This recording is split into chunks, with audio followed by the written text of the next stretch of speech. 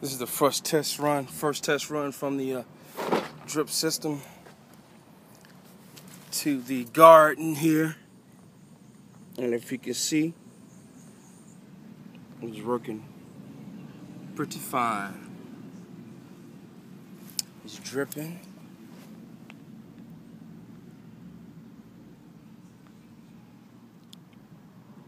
If you can see it, but uh, I just gotta adjust it put it directly over. Each hole is about nine inches, nine inches apart.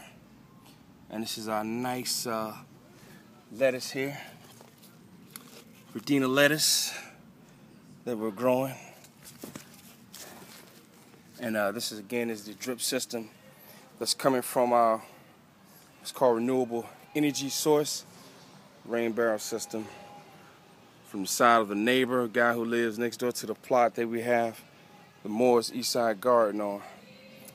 And this is the drip system going in, which saves us money, time, and energy right here.